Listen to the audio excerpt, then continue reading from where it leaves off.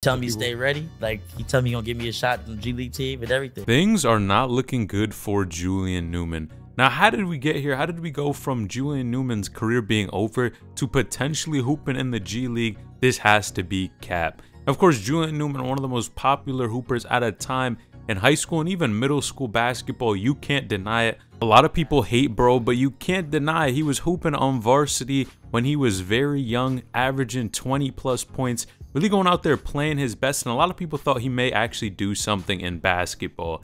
Now, of course, him and his father did a whole lot of lying. Julian never really grew, and of course, we all know Julian's attitude was never going to help him make it or even play at the next level. Now, we really didn't see Julian Newman too much. He did play in a professional tournament, and even, of course, these last couple months has actually been playing against other influencers for Ball is Life and House of Highlights, which it's a good look, I'm not gonna lie. But Julian Newman was just put on a podcast where I gotta call him out, bro is capping like crazy. It was recently put on this podcast where he stated that Mark Cuban would give him a chance at playing for his G League team. Now, if you don't know, Mark Cuban does own a G League team. Tell me stay ready. Like he tell me he gonna give me a shot in the G League team and everything. Now, honestly, when I see things like this, man, I understand how much Julian Newman has damaged his reputation. But I think at any point in time, bro just says things to try to get a lot of attention. And in this case, we all know bro is never gonna play for a G League team. But let me let me not even hate like that. I think it's very highly unlikely for Bro to play for a G League team.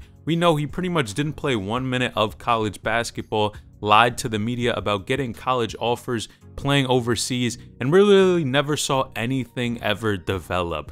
Now, of course, many people have said the best route for Julian Newman would to be to go and be an influencer, and he seems like he's starting to take that a little bit more seriously. Now, if you do enjoy these types of updates and want to stay updated with Julian Newman, all these hyped high school, college, and even NBA hoopers, subscribe to the channel and join the community. We are on the road to 100,000 subscribers and just hit 21k. So if you do enjoy these type of content and want to stay up to date, hit the like button and subscribe button now.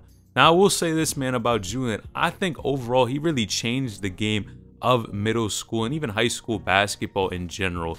You know it had a certain shine to it when Julian was hooping. They were comparing him to LaMelo Ball, and I gotta give him his props at that point, man. I was watching Julian Newman's mixtapes and all of this. Of course, his career did not end up panning out, but you have to give credit and respect where it's due. Of course, yes, he was able to get views, but did his career really end up panning out the way some people thought it would? Of course not. Again, you got to be tall to play in the NBA. You have to have that height. And as soon as people just saw Julian Newman start to phase out and really look like just a dude who was hooping at the Y and getting buckets and not really a dude who's ready to play in college and in the NBA. I think soon after that, and even after realizing how bad his attitude was, bro really started to fall off. Now, to be honest, man, I don't think it's a good look to lie to your fans. Again, Julian Newman seems like he's doing it once again. I could be wrong, but it's very unlikely that bro would ever hoop in the G League man, Julian, just start off as an influencer. You have a lot of clout,